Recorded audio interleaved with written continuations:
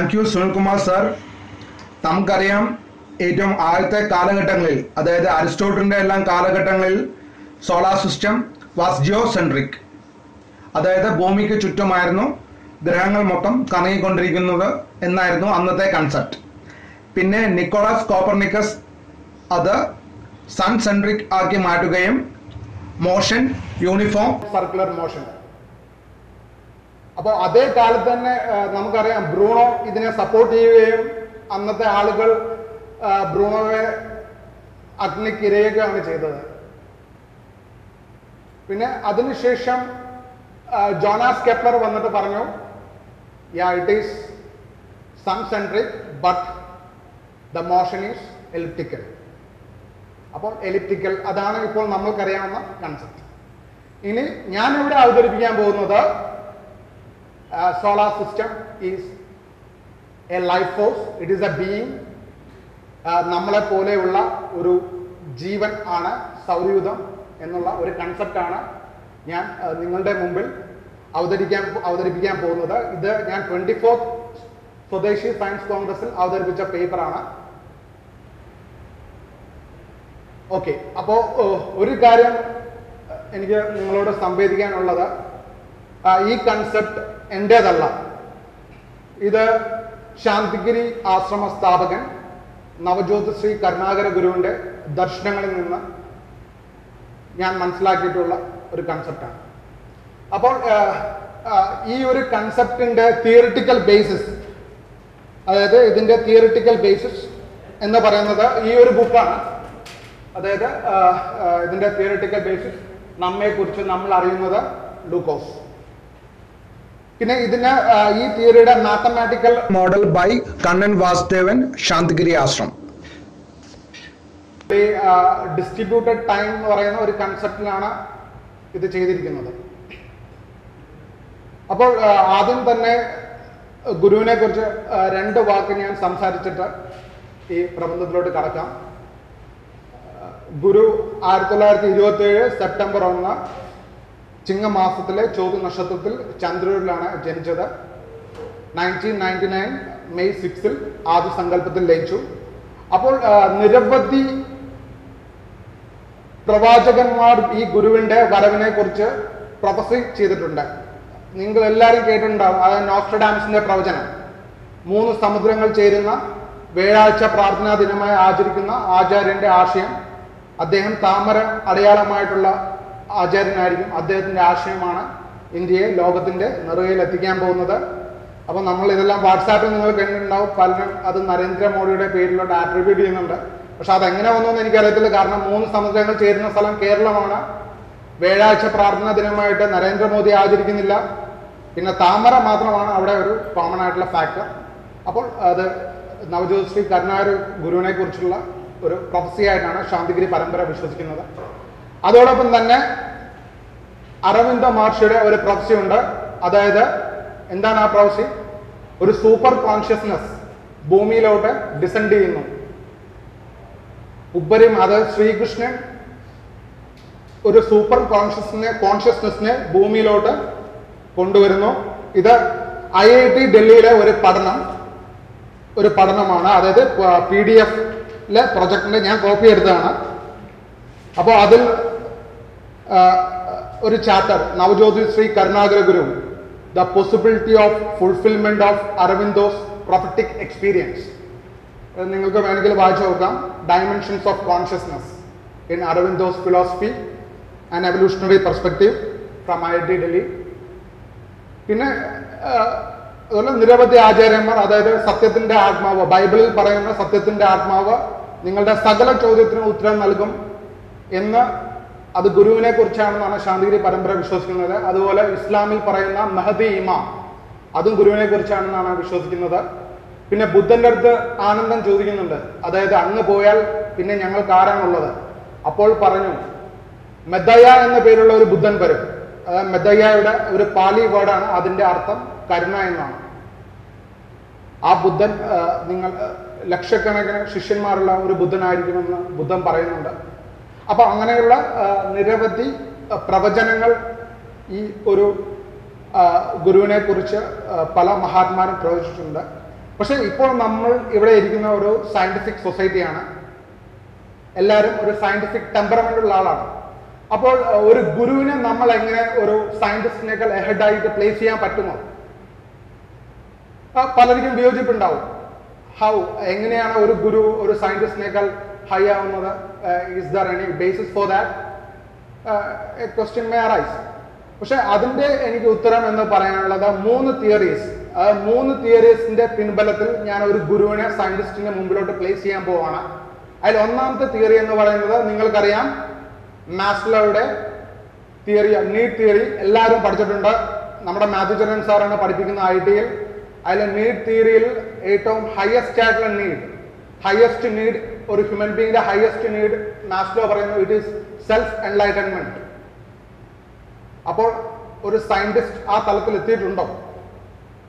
Einstein നമുക്കറിയാം ഏറ്റവും വിശ്വവിഖ്യാതനായ ഐൻസ്റ്റീൻ സ്പിനോസാസ് കൺസെപ്റ്റ് ഓഫ് ഗോഡിലാണ് വിശ്വസിച്ചിരുന്നത്.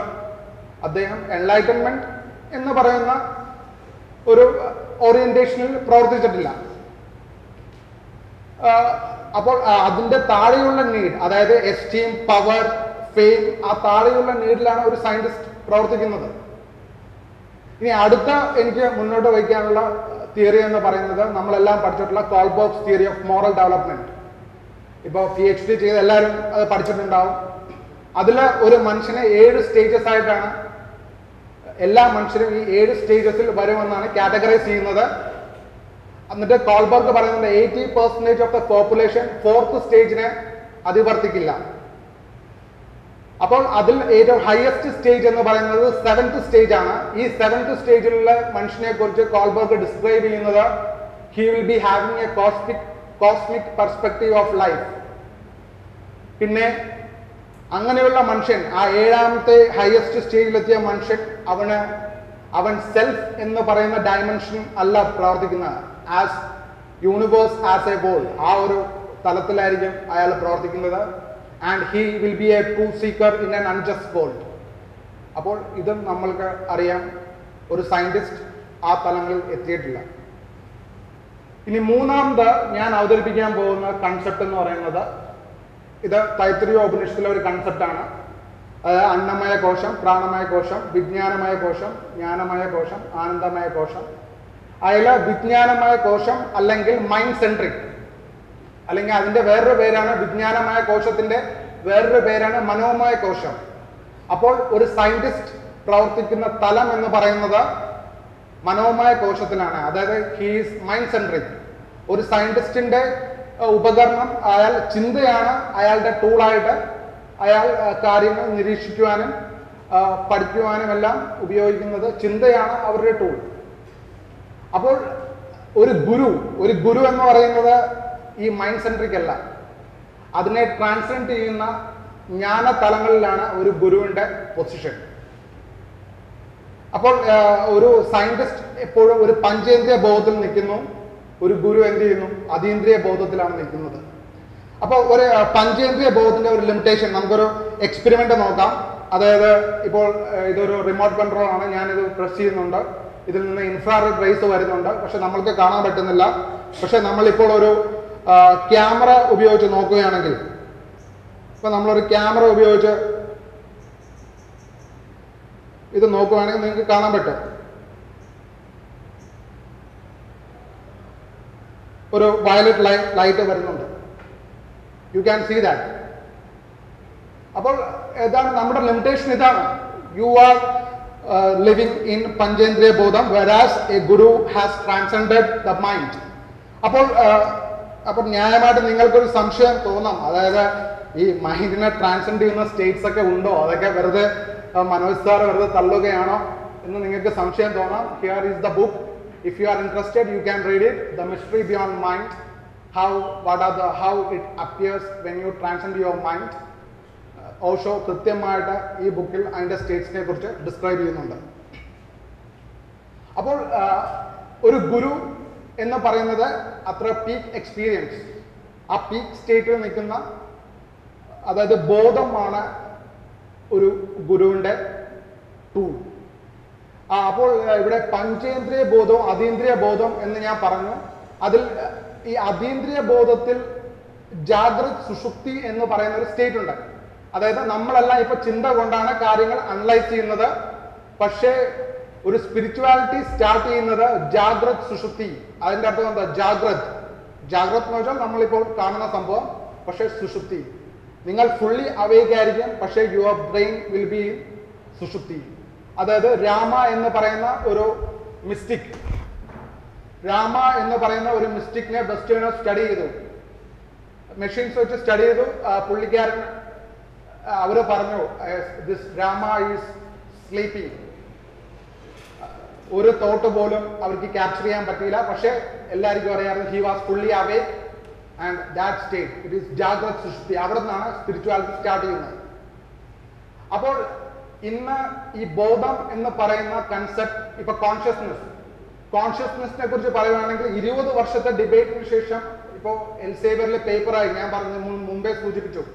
അതായത് നമ്മളുടെ മൈക്രോ ട്യൂബ്യൂൾസ് ക്വാണ്ടം വൈബ്രേഷൻസ് ആണ് ബോധം എന്ന് സയന്റിസ്റ്റ് പ്രൂവ് ചെയ്തിട്ടുണ്ട്. എൽസേവറിലെ പേപ്പറിലുണ്ട് ഇരുപത് വർഷത്തെ ഡിബേറ്റിന് ശേഷമാണ് ഈ ബോധം ഉണ്ട് എന്ന് നമുക്ക് പ്രൂവ് ചെയ്യാൻ പറ്റിയത്. ഇപ്പോൾ ഒരു പക്ഷേ നമ്മൾക്കറിയാം ഇപ്പൊ ആത്മാവ് നമുക്കറിയില്ല ഉണ്ടോ ഇല്ല എന്ന് അറിയത്തില്ല. ഇപ്പൊ ജോ- ജോസഫ് സാറ് പറഞ്ഞു ഞാൻ കേട്ടിട്ടുണ്ട് റഷ്യൻ സൈനെ കുറിച്ച് പഠിക്കുന്നുണ്ട്. അപ്പൊ ഞാൻ ഒരു റഷ്യൻ സയന്റിസ്റ്റ് കൊറോട്കോവ് എന്ന് പറഞ്ഞ റഷ്യൻ സയന്റിസ്റ്റിന്റെ വർക്കിനെ കുറിച്ച് ഒന്ന് ഡീപ്പായിട്ട് സ്റ്റഡി ചെയ്തപ്പോൾ പുള്ളി ഗ്യാസ് ഡിസ്ചാർജ് വിഷ്വലൈസേഷൻ വെച്ച് നമ്മളുടെ ബോഡിയിൽ നിന്ന് വരുന്ന റേസിനെ ക്യാപ്ചർ ചെയ്ത് സ്റ്റഡി ചെയ്യുന്നുണ്ട്. അപ്പൊ നമ്മൾ കാണാത്ത തലങ്ങളിലാവാം. ഇതുപോലെ ഇപ്പൊ നമ്മൾ കണ്ട് ക്യാമറയിലൂടെ നോക്കിയപ്പോൾ ഒരു ലൈറ്റ് കണ്ടു. ഒരുപക്ഷെ ഭാവിയിൽ ഇതിനെല്ലാം ക്യാപ്ചർ ചെയ്യുന്ന ഡിവൈസസ് സയൻസ് കണ്ടുപിടിക്കാം. കാരണം ഇപ്പോൾ ബോധം എന്താണെന്ന് സയൻസ് പ്രൂവ് ചെയ്ത് കഴിഞ്ഞു. അപ്പോൾ സയൻസും ഈ ഒരു വിഷയത്തിലോട്ട് തന്നെയാണ് നടന്നു വന്നുകൊണ്ടിരിക്കുന്നത് അപ്പോൾ ഒരു ഗുരു എങ്ങനെയാണ് ഒരു സയന്റിസ്റ്റിനേക്കാൾ എഹഡ് എന്ന് നിങ്ങൾക്ക് മനസ്സിലായി എന്ന് എനിക്ക് തോന്നുന്നു. അപ്പോൾ ഇനി നമ്മളുടെ അനാഥൻ എന്ന് പറയുന്ന ഋഷി എങ്ങനെയാണ് അണു ആറ്റംസ് മാറ്ററിനകത്ത് ആറ്റംസ് ഉണ്ടെന്ന് എങ്ങനെ കണ്ടുപിടിച്ചു? അതുപോലെ തന്നെ നമ്മളുടെ ആര്യഭട്ടൻ എങ്ങനെയാണ് പ്രപഞ്ചത്തിന്റെ സ്ട്രക്ചർ ഗണിതീയത്തിൽ രേഖപ്പെടുത്തിയിരിക്കുന്നത്? അപ്പൊ എന്റെ റാഷണലിസ്റ്റ് റാഷണലിസ്റ്റ് സുഹൃത്തും ഹരിക്കൊക്കെ അറിയാം. അതായത് ജോർജ് എന്ന് പറഞ്ഞ പുള്ളി പറഞ്ഞു സാറേ അത് നിരീക്ഷിച്ചിട്ട് കാരണം ഗ്രഹങ്ങളെല്ലാം നിരീക്ഷിക്കാൻ പറ്റുമല്ലോ. ഓക്കെ അത് ഞാൻ അഗ്രി ചെയ്യുന്നു. പക്ഷെ ഈ സൗരയൂഹത്തിനകത്തുള്ള കാര്യങ്ങൾ ഓക്കെ. ഇനി അതിനപ്പുറം ഓക്കെ അതിനപ്പുറം എന്താണ് നമുക്ക് ഗാലക്സി. ഗാലക്സി വരെ ഓക്കെ നിങ്ങൾക്ക് നിരീക്ഷിക്കാൻ പറ്റും. അതിനപ്പുറം എങ്ങനെ നിരീക്ഷിച്ചിട്ടുണ്ടാവും? അപ്പൊ അതിന്റെ മെത്തഡോളജി എന്തായിരിക്കും? അപ്പോൾ ഇവിടെ ഇന്ത്യ എന്ന് പറയുന്ന നമ്മുടെ രാജ്യത്തിന്റെ പൈതൃകം ബോധശാസ്ത്രമാണ്. അപ്പം ബോധം ഇറ്റ് ഈസ് നോൺ ലോക്കൽ അതായത് ബുക്സ് ഉണ്ട്. എന്റെ കയ്യിൽ ബുക്ക് ഉണ്ട്. ഞാൻ നിങ്ങൾക്ക് കാണിച്ചു തരാം. അതായത് ഇറ്റ് ഈസ് നോൺ ലോക്കൽ നിങ്ങൾക്ക് നിങ്ങൾ മരിച്ചാലും ബോധത്തിന് എക്സിസ്റ്റ് ചെയ്യാൻ പറ്റുമെന്ന് പല സയന്റിസ്റ്റും പ്രൂവ് ചെയ്തിട്ടുണ്ട്. ബുക്ക് എന്റെ കയ്യിൽ കയ്യിലുണ്ട്. കാണിച്ചു തരാം. അപ്പോൾ ഇനി നമ്മളുടെ കൺസെപ്റ്റിലോട്ട് കടക്കാം. അതായത് നമ്മൾക്കറിയാം we have two categories that is living things and non living things അപ്പോൾ ഒരു സംഭവം ലിവിങ് ആണെങ്കിൽ അതിന്റെ പ്രോപ്പർട്ടീസ് അതിനുണ്ടായിരിക്കണം. എന്നാൽ മാത്രമേ നമുക്ക് ലിവിങ് ആണെന്ന് പറയാൻ പറ്റത്തുള്ളൂ. അപ്പൊ ഇവിടെ ഞാൻ ചോദിച്ച റിസർച്ച് ക്വസ്റ്റ്യൻസ് ഞാൻ നിങ്ങളുടെ അടുത്ത് പങ്കുവയ്ക്കാൻ പോവാണ്. അതായത് ഫസ്റ്റ് സെൽ ഉണ്ടായി അത് plants animals multi cell plants animals human beings വരെ എത്തി. അപ്പോൾ ബില്യൻസ് ഓഫ് ഇയേഴ്സ് ആയിട്ട് നടക്കുന്ന പരിണാമം. എന്തിന് ഇത്രയും കോടിക്കണക്കിന് വർഷമായി നടക്കുന്ന പരിണാമം? എന്തിന് ഹ്യൂമൻ ബീങ്സിൽ വെച്ച് സ്റ്റോപ്പ് ചെയ്യണം? ക്വസ്റ്റ്യൻ നമ്പർ വൺ അങ്ങനെയാണെങ്കിൽ അപ്പോൾ പരിണാമം ഇനിയും കണ്ടിന്യൂ ചെയ്യുന്നുണ്ടെങ്കിൽ ഈ പരിണാമത്തിന്റെ ആദ്യത്തെ തലങ്ങൾ എന്തൊക്കെയാണ്? അതായത് ഹ്യൂമൻ ബീങ്സ് കഴിയുമ്പോൾ അടുത്ത തലം എന്താണ്? അടുത്തൊരു ക്വസ്റ്റ്യൻ അപ്പോൾ ഇവിടെ മനസ്സിലാക്കേണ്ട ഒരു ബാക്ടീരിയ എടുത്ത് നമ്മൾ പറയുന്നതാണ്. അതായത് ഇത്രയും ഫോർട്ടീൻ ബില്യൺസ് ഓഫ് ഇയേഴ്സ് കാലം ഒരു ത്രീ പോയിന്റ് ഫൈവ് അപ്രോക്സിമേറ്റ് ഇത്രയും ബില്യൺസ് ഓഫ് ഇയേഴ്സ് കഴിയുമ്പോൾ ഇത് ഹ്യൂമൻ ബീയിങ് ആവും എന്ന് പറഞ്ഞു കഴിഞ്ഞാൽ ബാക്ടീരിയക്ക് ഒരിക്കലും അത് ഒരിക്കലും അവരുടെ സ്റ്റേറ്റിൽ നിന്ന് അത് കൺസീവ് ചെയ്യാൻ പറ്റില്ല. ഇപ്പൊ നമ്മുടെ ബോഡിയിൽ ബില്യൺസ് ഓഫ് ബാക്ടീരിയാസ് ഉണ്ട്. അങ്ങനെയുള്ള ഒരു ബാക്ടീരിയ ആണ് ബില്യൺസ് ഓഫ് ഇയേഴ്സ് കഴിഞ്ഞ് ഹ്യൂമൻ ബീയിങ് ആയെന്നുള്ള ഒരു ഐഡിയ അവർക്ക് കൺസീവ് ചെയ്യാൻ പറ്റുന്നതിന്റെ അപ്പുറമാണ്. അപ്പോൾ ഇവിടെ നമ്മൾ പരിണാമത്തിന്റെ അടുത്ത തലം എന്ന് പറയുന്നത് ഇവല്യൂഷൻ ഓഫ് കോൺഷ്യസ്നെസ് അതായത് ബോധത്തിന്റെ പരിണാമമാണ്. അതിൽ ഗുരു പറയുന്നു ഇവിടെ പതിമൂന്ന് തലങ്ങളുണ്ടെന്ന് പറയുന്നു. കോൺഷ്യസ്നെസ്സിന് പതിമൂന്ന് തലങ്ങളുണ്ടെന്ന് പറയുന്നു. അതിൽ ഒരു തലം ഇപ്പോൾ ഇപ്പോൾ ഹിന്ദുക്കൾ ആരാധിക്കുന്ന ദേവീ ദേവന്മാർ മൂന്ന് തൊട്ട് ആറ് വരെയുള്ള തലത്തിലെത്തിയ ജീവനാണെന്നാണ് ഗുരു പറയുന്നത്. പിന്നെ ഇതിന്റെ ഹയർ എൻസിൽ ബ്രഹ്മവിത്ത്. ബ്രഹ്മവിത്ത് എന്ന് വെച്ചാൽ one who has a glimpse of samadhi സമാധി അനുഭവം ഉണ്ടായ ഒരു ഗ്ലിംസ് സമാധി അനുഭവം ഉണ്ടായ ആളാണ് ബ്രഹ്മവിത്ത്. പിന്നെ ബ്രഹ്മവര്യൻ who is having frequent samadhi experience അത് ബ്രഹ്മവര്യൻ എന്ന് പറഞ്ഞ കാറ്റഗറി പിന്നെ ബ്രഹ്മവരിഷ്ഠൻ. അയാൾ ആ ഒരു സ്റ്റേറ്റിലെത്തിയാൽ നിങ്ങൾ സമാധിയിലായിരിക്കും നിങ്ങളുടെ സ്റ്റേറ്റ് ഇപ്പൊ നമ്മുടെ പതഞ്ജലിയുടെ യോഗശാസ്ത്രം എടുത്ത് പഠിച്ചാലും നമുക്കറിയാം അൾട്ടിമേറ്റ് സ്റ്റേറ്റ് ഇപ്പൊ യോഗ ധാരണ അങ്ങനെ പ്രത്യാഹാരം അങ്ങനെ ഏറ്റവും ഹയസ്റ്റ് സ്റ്റേറ്റ് എന്ന് പറയുന്നത് സമാധിയാണ്. അപ്പൊ അവിടെയും ചിത്തവൃത്തി നിരോധം. അതാണ് അവിടുത്തെ ഈ കൺസെപ്റ്റ് അപ്പോൾ നമ്മളുടെ ടോപ്പിക്കിലോട്ട് വരാം. അതായത് ഫസ്റ്റത്തെ പ്രോപ്പർട്ടി എന്ന് പറയുന്നത് പ്രത്യുൽപാദനം. അതായത് ഫസ്റ്റ് സെൽ അപ്പോൾ ഫോർമേഷൻ ഓഫ് ഫസ്റ്റ് സെൽ അതായത് അപ്പോൾ സൗരയൂഥം ഒരു സെല്ലിനെ പ്രത്യുൽപാദ പ്രത്യുൽപാദനം ഫസ്റ്റ് സെൽ ഫോം ചെയ്യുകയും അതിനെ വളർത്തി വലുതാക്കി ഇപ്പൊ മനുഷ്യനിലെത്തി. പിന്നെ അതിനുശേഷം ഇപ്പൊ നമ്മളുടെ വീട്ടിൽ എന്താ ചെയ്യുന്നത്? ഒരു അച്ഛൻ ഒരു മകനെ വളർത്തി അച്ഛനോളം ശേഷിയോ അതിനേക്കാൾ മേലെ ശേഷിയുള്ള ഒരാളാക്കി വളർത്തുക. അതാണ് ഓരോ അച്ഛൻ ചെയ്യുന്നത്. അപ്പൊ നമ്മളുടെ യഥാർത്ഥമായിട്ടുള്ള പാരന്റ്സ് എന്ന് പറയുന്നത് ഫസ്റ്റ് സെൽ ഫോം ചെയ്തിരിക്കുന്നത് പ്ലാനറ്റ്സിൽ നിന്നാണ്. അപ്പോൾ ഈ പ്ലാനറ്റ്സ് നമ്മളെ വളർത്തി സൗരയൂഥ ശേഷി ആർജിക്കുക ബില്യൻസ് ഓഫ് ഇയേഴ്സ് അതാണ് ഇവിടുത്തെ ടാർഗറ്റ് ആയിട്ട് നമ്മൾ സ്പെസിഫൈ ചെയ്യുന്നത്. അപ്പോൾ ഫസ്റ്റ് സെൽ ഉണ്ടായിരിക്കുന്ന മെത്തഡോളജി അതായത് സൂര്യന്റെയും ചന്ദ്രന്റെയും മറ്റു പ്രപഞ്ച ഗോളങ്ങളുടെയും ഭൂമിയിലുള്ള സ്വാധീന നിമിത്തമായി പരിണമിച്ചു വന്ന ജലവും മണ്ണും വായുവും പ്രകാശവും ഒക്കെ തന്നെയാണ് ജീവി എന്ന സ്വതന്ത്ര ചലനമായി തീരുന്ന സംഗതി. അപ്പോൾ ഇതിന്റെ എവിഡൻസ് എന്ന് പറയുന്നത് നിങ്ങൾക്ക് ഗൂഗിളിൽ സെർച്ച് ചെയ്യാം. Miller Urey experiment how the first cell is form Miller Urey experiment നിങ്ങൾ സെർച്ച് ചെയ്ത് കഴിഞ്ഞാൽ അതായത് അന്ന് അന്നത്തെ കണ്ടീഷൻസ് അവർ മിമിക് ചെയ്തു. ലബോറട്ടറിയിൽ മിമിക് ചെയ്യുകയും ആ കണ്ടീഷൻസ് ലബോറട്ടറിയിൽ മിമിക് ചെയ്യുകയും ഫസ്റ്റ് സെൽ അവർ ഉണ്ടാക്കി. അതായത് ഫസ്റ്റ് സെല്ലിന്റെ പ്രിമിറ്റീവ് ആയിട്ടുള്ള പ്രിമിറ്റീവ് ആയിട്ടുള്ള പ്രോട്ടീൻസ് പ്രോട്ടീൻസ് അവർ എക്സ്പെരിമെന്റിലൂടെ ഉണ്ടാക്കി. പിന്നെ ഇപ്പൊ ചലനം നിങ്ങൾക്കറിയാം ഗോളങ്ങളുടെ ഭ്രമണം അതിന് ചലനങ്ങളുണ്ട്. അത് നമുക്ക് എക്സ്പീരിയൻസ് എക്സ്പീരിയൻസ് ചെയ്യാവുന്ന ഒരു കൺസെപ്റ്റ് ആണ്.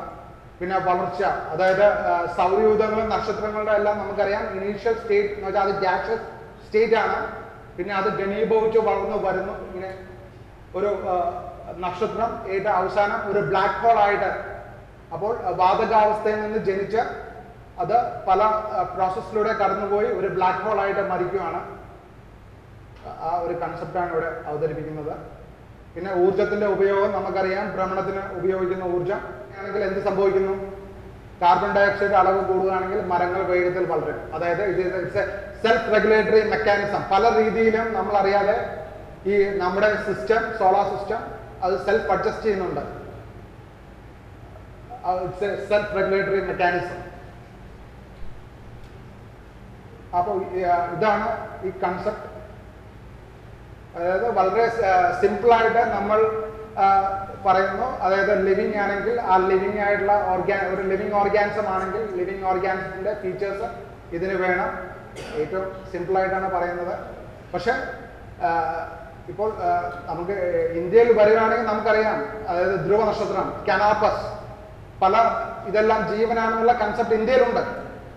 ഇന്ത്യയിലുള്ള ഒരു കൺസെപ്റ്റാണ് പക്ഷെ ഇനിയിപ്പോ വെസ്റ്റേൺ സയൻസ് വെസ്റ്റേൺ സയൻസ് ഇതിനെക്കുറിച്ച് എന്ത് പറയുന്നു എന്ന് നമുക്ക് നോക്കാം.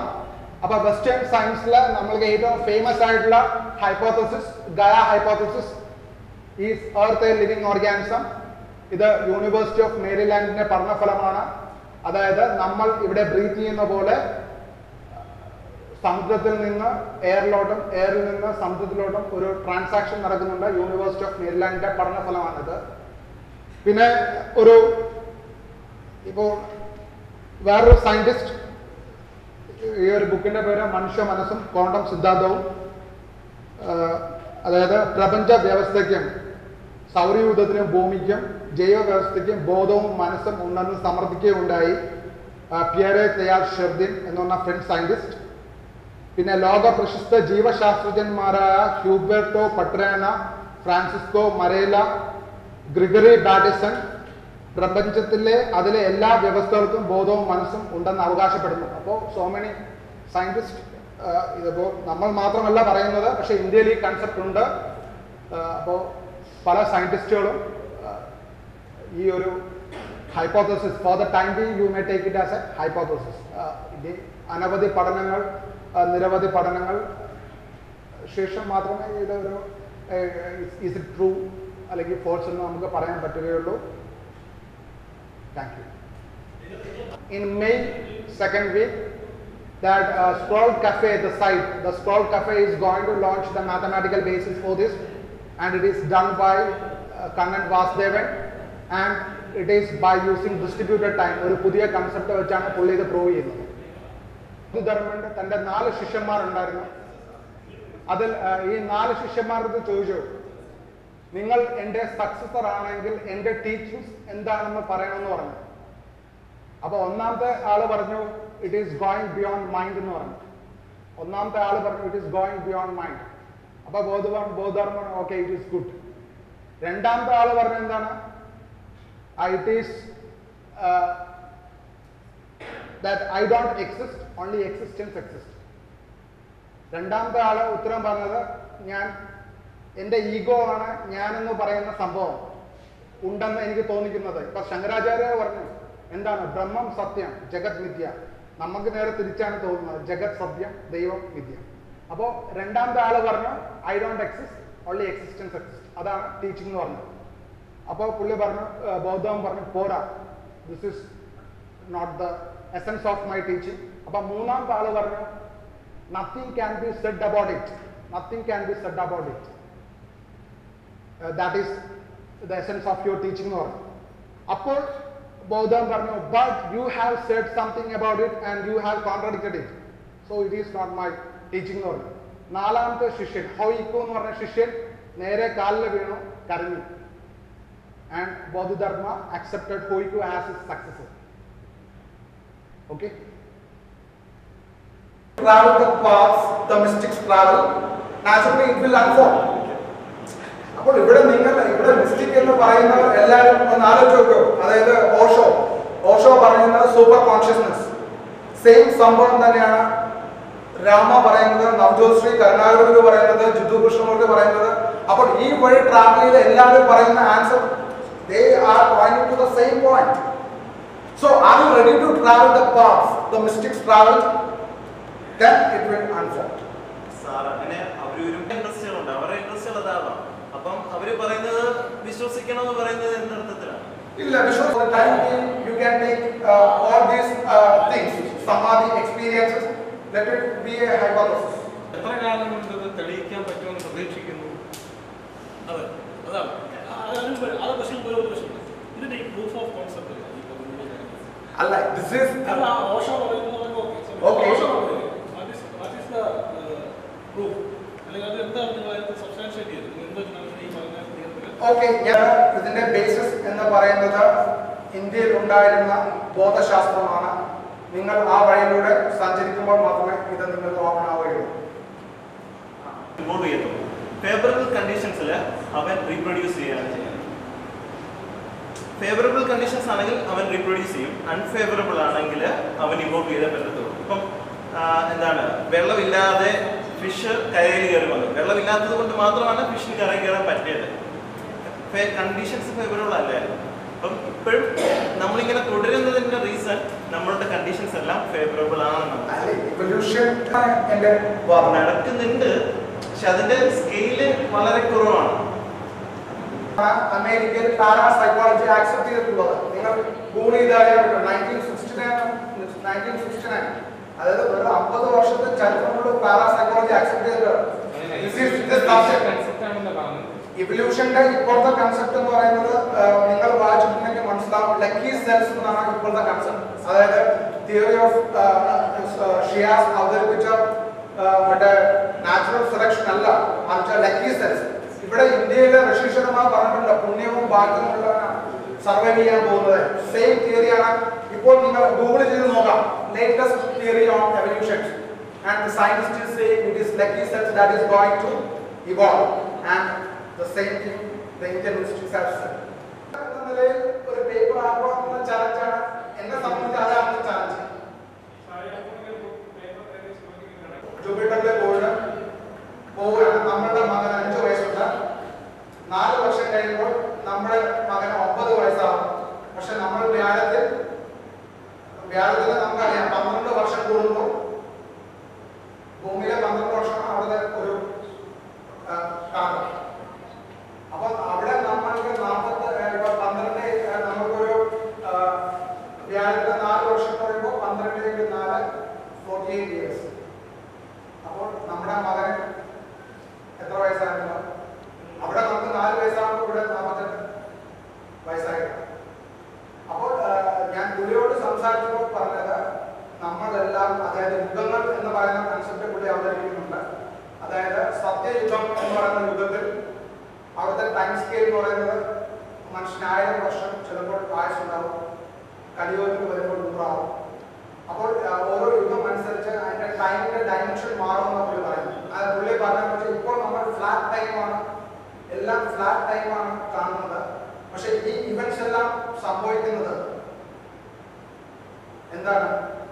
ഡിസ്ട്രിബ്യൂട്ടഡ് ടൈമിലാണ് പുള്ളി പറയുന്നത്. ഇലക്ട്രോണിക്സ് നമ്മുടെ ഒരു വിദ്യാർത്ഥി ഇലക്ട്രോണിക്സിലെ ഒരു വിദ്യാർത്ഥി ഓഷോയുടെ മുഴുവൻ പുസ്തകങ്ങളും പഠിക്കുകയും അദ്ദേഹം പറഞ്ഞു എന്താണ് ഇതെല്ലാം സ്റ്റിപ്പ് നമ്മളിപ്പോ ചെയ്തുകൊണ്ടിരിക്കുന്ന സ്റ്റെപ്പ് എടുത്തിയാണെന്നും പുള്ളി പറഞ്ഞു നിർത്തി പോയി. അപ്പോൾ ഇതുപോലുള്ള മിസ്റ്റേക്സിലെ കുറെ ആ- വിദ്യാർത്ഥി നമുക്കറിയാം ഇലക്ട്രോണിക്സിലെ വിദ്യാർത്ഥിയാണ്. ആ കുട്ടി ആ, നമ്മുടെ പഠിത്തം നിർത്തി. നിങ്ങൾ ഇവിടെ ചെയ്യുന്ന stupidity you are doing something making consciousness എന്ന് പറഞ്ഞിട്ട് പുള്ളി കോഴ്സ് ഡിസ്കണ്ടിന്യൂ പോയി. ആ ഒരു സ്ഥലങ്ങളിലോട്ടാക്കി ചെല്ലുന്നത്. ബുദ്ധൻ ഹി വാസ് അപ്പൊ നമ്മൾ ടാർഗറ്റ് വെക്കുന്ന എല്ലാ സംഭവം അവർ ഫുൾഫിൽ ചെയ്ത് കഴിഞ്ഞു. ബൗദ്ധധർമ്മൻ നമ്മൾ നേരെ പറഞ്ഞ ബൗദ്ധധർമ്മൻ he was a prince മഹാവീരൻ he was a prince അപ്പോൾ ഇവരെല്ലാം ആദ്യവും അതൊക്കെ എല്ലാം ഡിഫറെന്റ് ആണ്. ഒരു സാധാരണക്കാരെ കൈവരിക്കാത്ത ചില അപ്പൊ അതൊന്നും അതുകൊണ്ട് തന്നെയാണ് ചോദിച്ചത്. അല്ല പക്ഷെ Osho he was a university professor and he was a rank holder അപ്പോൾ ഇന്റലിജന്റ് വാട്ട് ഇസ് ദ എനിക്ക് തോന്നുന്നു ആ, ഇന്ന് നമ്മളുടെ കണ്ടംപററി വേൾഡിൽ ഇത്രയും ഒരു ആ, വ്യക്തി ഞാൻ കണ്ടിട്ടില്ല. എന്റെ ഒരു നല്ല ഒരു പക്ഷേ ഇപ്പൊ യേശുവിനെ പ്രാർത്ഥിക്കുന്നവരുണ്ട് ശ്രീകൃഷ്ണനെ പ്രാർത്ഥിക്കുന്നവരുണ്ട്.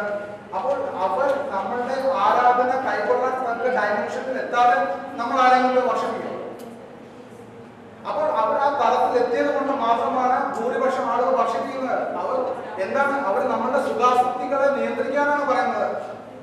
എന്നിട്ടാണ് അവർ അവരെങ്ങനെയാണ് ഈ ആരാധന ആരാധ ആരാധകരായി മാറിയത്? എങ്ങനെയാണ്? അതാണ് നമ്മൾ ശരിയാണെന്ന് തോന്നണമെന്നില്ല. എങ്കിലും സാറ് സാറിന്റെ ചിന്താഗതിക്ക് അനുസരിച്ചാണ് ചില കാര്യങ്ങളാണ്. അത് തന്നെയാണ് ശരിക്കും പറഞ്ഞ ഒരു പി എച്ച് എന്ന് പറയുന്നത്. പി എച്ച് പറയുന്ന പേപ്പേഴ്സുകളെല്ലാം തന്നെ റിപ്ലിമിനാണെന്ന് നിർബന്ധമൊന്നുമില്ല. പ്രാക്ടിക്കലാണോ നിർബന്ധമില്ല. ചില ആൾക്കാർ അവരുടെ ഐഡിയാസ് പറയുന്നു. മറ്റു ചില ആൾക്കാർ ആ ഐഡിയാസ് അനുബന്ധിച്ച് അതുമായിട്ട് പ്രവർത്തിച്ച് വീണ്ടും വീണ്ടും ചില പുതിയ പുതിയ ഐഡിയാസ് കണ്ടുപിടിക്കുന്നു എന്നാൽ ചില ആൾക്കാരുടെ വീട്ടിൽ നിന്ന് സ്വടം നിന്ന് പോകുന്ന ആൾക്കാരുകളുണ്ട് എന്തായാലും മനോജ് എന്നാൽ ചില ചില കാര്യങ്ങൾ നമുക്ക് ചില വളരെ ഏതായാലും ഉള്ള എന്തെങ്കിലും ഒരു പോലെ നമുക്ക് കിട്ടിയിട്ടുണ്ട്. തീർച്ചയായിട്ടും ഇങ്ങനെ ക്ലാസ്സിൽ മനോജ് കുമാറിന് നമ്മുടെ പുസ്തകം എല്ലാവരും നമുക്ക് കിട്ടിയെന്ന് പറയും താങ്ക്സ്